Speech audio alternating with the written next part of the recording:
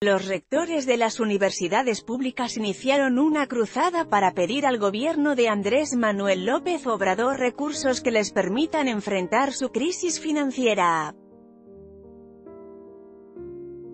Para este año, 10 de estas instituciones de educación superior alcanzaron un déficit combinado por 18.180 millones de pesos, lo que supera el presupuesto de este año de la Procuraduría General de la República, 16.243 millones de pesos. De acuerdo con un diagnóstico de la Presidencia de la República de Enrique Peña Nieto, al cual tuvo acceso el Sol de México, una mala administración de la plantilla y del sistema de pensiones ha provocado que estas universidades no solo pongan en riesgo sus actividades académicas, también las llevaron a endeudarse con el SAT, los sistemas de seguridad social y bancos para nuestra asociación es motivo de gran preocupación la situación financiera crítica que enfrenta un grupo de universidades públicas, dijo Jaime Esponda, secretario general ejecutivo de la Asociación Nacional de Universidades e Instituciones de Educación Superior, ANUIES. El endeudamiento de las universidades públicas no se trata de un problema coyuntural por el cierre del año, sino que éstas han operado de manera deficitaria en los últimos años producto de su sistema de pensiones, recordó el representante. La solución a estos problemas estructurales requiere de una política renovada de financiamiento con la corresponsabilidad de los tres niveles de gobierno, demandó Val. Esponda. Por eso, desde ayer los rectores iniciaron su pasarela en Comisión de Presupuesto de la Cámara de Diputados para exponerle su situación.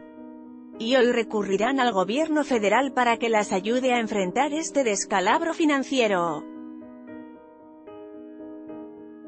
Los rectores de las universidades se reunirán hoy con el secretario de Educación Pública, Esteban Moctezuma Barragán, para solicitar una ampliación presupuestaria de más de 4.000 millones de pesos pues de lo contrario, advierten que no podrán liquidar sus responsabilidades en lo que resta del año, tales como sueldos y prestaciones. Primer acercamiento El primer acercamiento entre las universidades en problemas financieros ya fue, luego de que un grupo de rectores se reunió con el subsecretario de Educación Superior Luciano Contensiro, donde se acordó trabajar por mejores presupuestos. Pero estas universidades no son las únicas que buscan apoyo económico por parte del gobierno federal, pues las afiliadas a la ANUIES tendrán una reunión para sumar esfuerzos para que el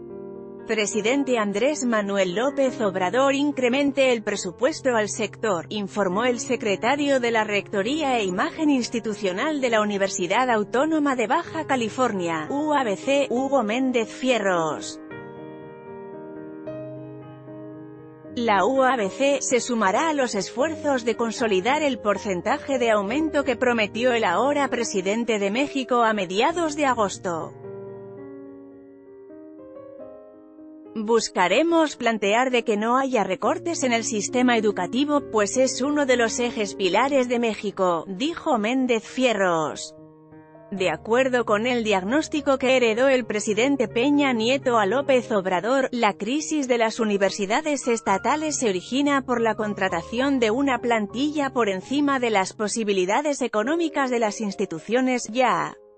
sea por el número o sueldo, prestaciones a personal docente y administrativo superiores a los del financiamiento que reciben las universidades, malos sistemas de jubilación y pensiones, incumplimiento de gobiernos estatales y un menor subsidio federal. Las universidades que están en números rojos son, la Autónoma de Chiapas, la Autónoma del Estado de México, la Michoacana de San Nicolás Hidalgo, la Autónoma del Estado de Morelos, la Autónoma de Nayarit, la Autónoma Benito Juárez de Oaxaca, la Autónoma de Sinaloa, la Juárez Autónoma de Tabasco, la Veracruzana y la Autónoma de Zacatecas.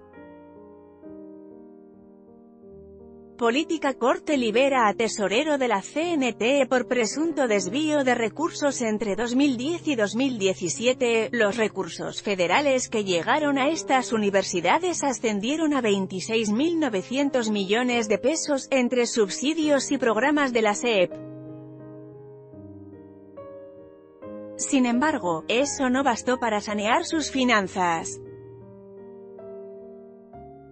Por eso, la Administración Federal pasada recomienda que para que estas instituciones salgan de la crisis financiera, no solo requieren de más presupuesto, sino de cambios graduales en su esquema de prestaciones a sus trabajadores y en reformas a sus sistemas de pensiones.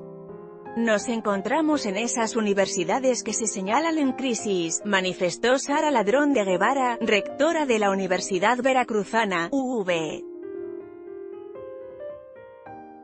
Las deudas fueron provocadas por el gobierno de Javier Duarte, exgobernador de Veracruz quien fue irresponsable al no entregar los recursos recibidos vía subsidios, agregó. No pagó oportunamente el impuesto sobre la renta de los trabajadores al Servicio de Administración Tributaria, SAT, lo que ha significado un incremento en multas y recargos, añadió la representante. Hacemos un respetuoso llamado a la Auditoría Superior de la Federación a reconocer ese adeudo como parte del gobierno de Veracruz, cerró Ladrón de Guevara, quien pidió recibir directamente los subsidios federales para evitar suceda lo que pasó con las autoridades estatales.